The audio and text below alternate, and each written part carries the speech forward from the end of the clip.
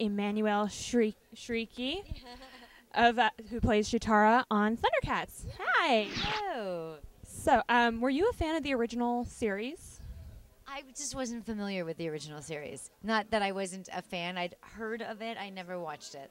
Okay. So, what kind of research did you do t- to create the Cheetara character? Um, you know, I was saying this to somebody else down the line. It's really difficult when you're doing, um, when you're redoing something that's already been done. You know, you definitely don't want to imitate. So it, I, it's useless for me to watch previous episodes of how someone else might have played Cheetara. So, sort of myself and the cast and the director Andrea Romano, we kind of just like figure it out and we do it, and that's how we do.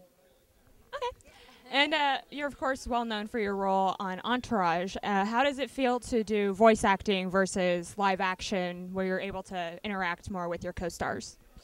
I love doing voice work. It's so fun. Yeah, it's actually very liberating. It's another way to be creative, and it's uh, so completely not about what you look like, which is incredibly liberating. Um, you know, listen, I've never ever in live action gotten to play a character as fierce as Cheetara. So I'm thrilled to be doing it in an animation. So you say your Cheetara is fierce. What else can you tell us about your uh, iteration of Cheetara? I mean, she's you know, uh, she's great. She's, I mean, she's what she was. It's not that different. The the show itself isn't that different from what it was. I'm told by the experts. Um, it's really not. Like I think that the fans will be really pleased. I don't think there'll be um, too much disappointment about it. So you know, it's just that if anything, it seems to me that Cheetara is more integral in this time than the original. Okay. Uh, do you feel like Cheetara is a strong female role model for young girls that will be watching the show? Definitely. I mean, she basically makes it seem like there is no difference between being a boy and a girl. She's as fast, as strong, as smart. It's like she's right there with them. Okay, awesome. And I have one last question. How fast do you think Cheetara runs? Speed of light. Spaulding, uh, producer of Thundercats. So, um, hell, um, what? Okay, uh, ha- is this more of a reboot or a reimagining? It's, a reimagining. It's not. It's not necessarily a reboot. We're keeping a lot of the elements from the original show in this. We're just rearranging. You know, playing with that, and um, yeah. So it's not a total reboot. So. How do you feel uh, fans of the original series will react to, to this? Do you think they'll be able to watch it, or is it more for the next generation? Eh, Hopefully, it's for both. You know, it's for the people who remember the original show, and it's also for the new kids that don't know anything about Thundercats. So I think hopefully, if we played our cards right, we get both. We get both of them. So.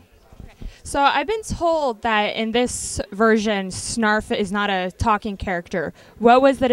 Why why that decision? That decision came because in the original show, Snarf was pretty annoying, like an old, like an old grandmother, you know, yelling at the kid, you know, telling him Lion-O what to do. Um, so we, we took that into consideration, and Snarf will talk, but in just animal sounds, like cat-like alien cat sounds, and much like Chewbacca or R2D2, Lion-O will understand what Snarf is saying. So. And uh, what was the decision to to leave it on Thundera rather than going to uh, Third Earth? Well, it is. It actually is on Third Earth. So, th- but the Thundera planet we we tossed out, and that's just the name of the kingdom that we start off with. is called Thundera. That's where the Thundercats live. So, Uh, so do you have any cats, and did they inspire the the reason for your producing of the show? uh, I grew up with cats. I don't I don't have one right now currently, but their mannerisms and stuff we were looking at for this new one. So we're trying to get a little more animal qualities, see with the eyes, you know, the glowing glowing eyes at night, and um, some aspects of the animal we thought would be cool to bring. Awesome. Uh, so, uh, who's your favorite Thundercat, if I may ask that? I think Panthro. I think Panthro is my favorite, just because the nunchucks are cool and his attitude. You know, he's really he's the he's the veteran um, warrior of the group, and um, I don't know. I just gravitate toward his design and his attitude. I think he's really cool. So Awesome. Well, I, I believe I'm running out of time, so thank you so much for this interview.